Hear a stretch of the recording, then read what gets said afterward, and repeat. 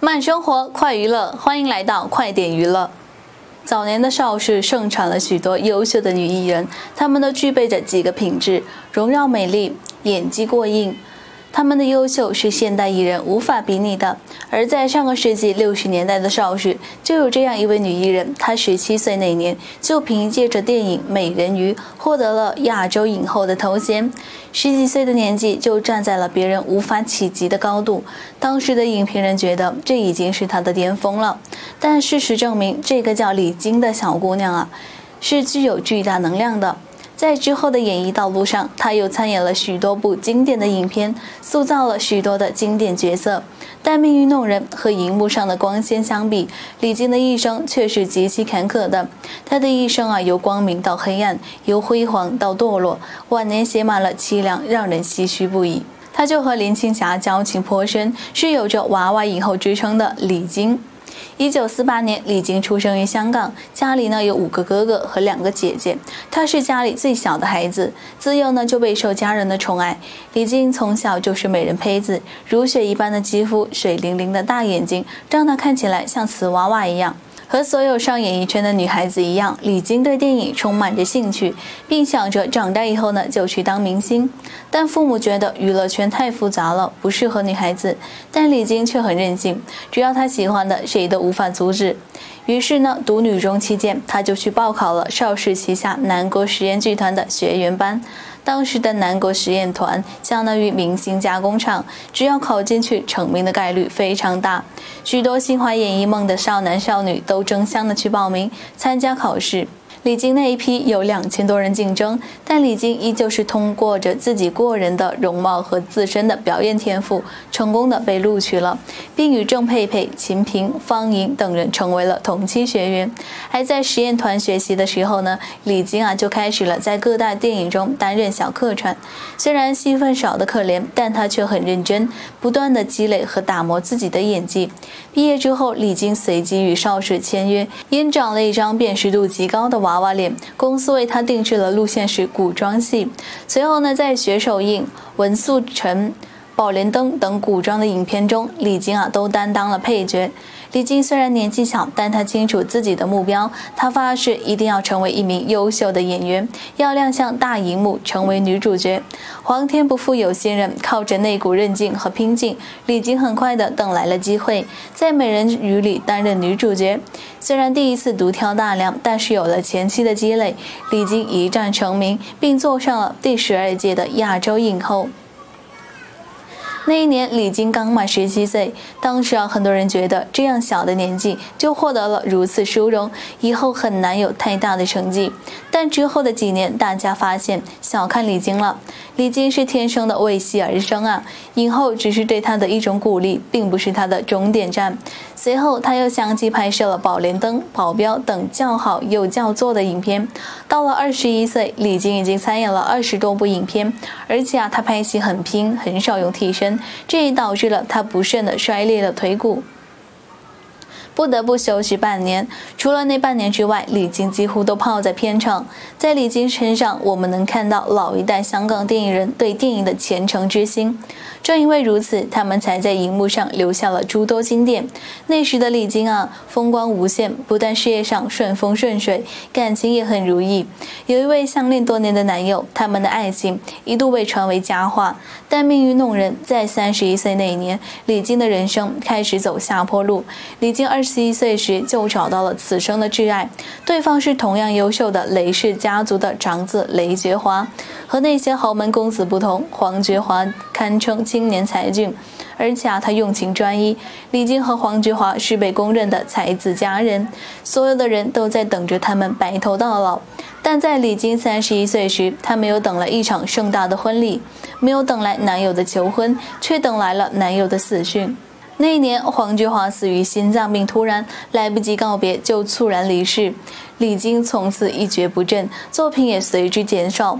男友离去时，尚有母亲陪伴，她觉得自己不孤单。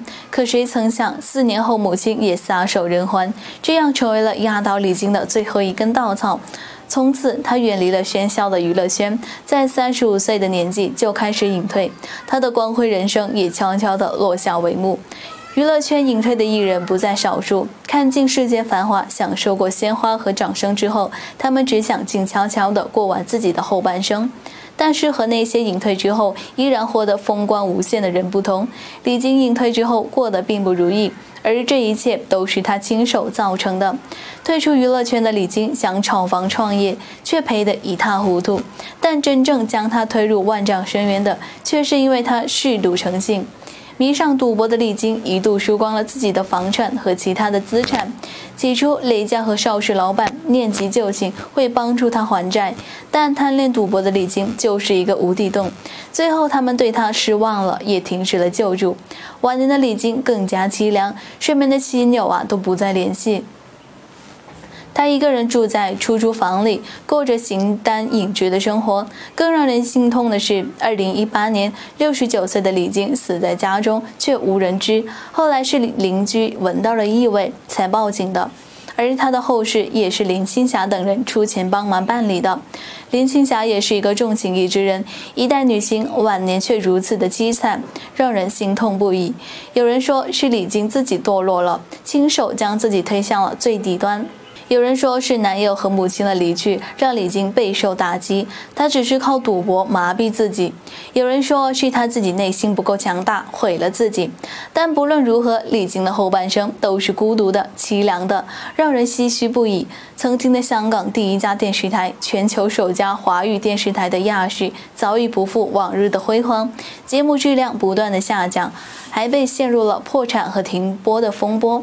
江河日下，当年啊，与 TVB 分庭抗礼时，拥有强大的编剧和演员阵容，拍摄出了很多的经典电视剧，尤其是那些女演员都拥有着不可多得的华丽与美艳。冯宝宝出生于马来西亚，以童星身份出道。儿时和少女时代拍摄的大多都是粤语电影片，是长城七公主之一。后期拍摄了很多电视剧，其中1984亚视的电视剧《武则天》是她演艺事业的一个高峰，武媚娘的角色还原度非常高。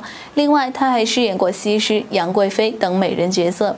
苗可秀曾经李小龙的绯闻女友，定居加拿大多伦多，至今未婚，有着圆润而精致的脸庞，大大的眼睛流露出一种让人心悸的美丽。曾经出演李小龙的《唐山大兄》《精武门》等影片。一九七八年签约的丽的电视亚视前身，在《情人剑》中饰演的是萧曼峰，《天蚕变》中饰演的是独孤凤，让观众记住了她。魏千桦出身家事艺员训练班，从影近二十年，拍片一百多部。出道啊就以饰演风流女子居多，古装扮相一流，电视剧大多都是以古装为主。一九七八年加入丽的奇女子一句让其走红，成为了丽的当家花旦。后期事业滑坡，成为了二流花旦。《天龙诀》中出演的配角南宫舞娘轰动内地的。一九八一年，《大侠霍元甲》中的饰演的是日本女间谍英子。古天乐版的《神雕侠侣》中饰演黄蓉。米雪在嘉义电视台出道成名，嘉义倒闭之后呢，加盟丽的。靠的是经典剧集《大侠霍元甲》中女主赵倩楠一角确立了地位。米雪的经典剧集非常多，在亚视期间，米雪和刘松仁一直都是官配，如《大地恩情之古都惊雷》《平宗侠影录》等。于安安，周润发的前妻，十六岁拍广告出道，在少数拍过的电影也是在嘉视拍了电视剧，后来加入丽的。主演了亚视史上著名的电视剧《大地恩情》和《天蚕变》，是当时立的最红的当家花旦之一。倪诗贝原名倪文娟，是张国荣唯一被媒体力证的正牌女友，模特出身，长相甜美，身处高挑。电视剧成名作是亚视电视剧《对对胡》和《甜甜四味》。荣慧文毕业于 TVB 的第六期艺员训练班，一九七九年搭档过丽的电视，当年啊凭借着《怒剑鸣》而在丽的电视有着一席之地。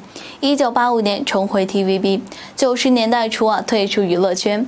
关之琳中学毕业之后加入丽的电视成为艺员，待了不到两年，演了三部电视剧就去拍电影，从此就没有拍过电视剧。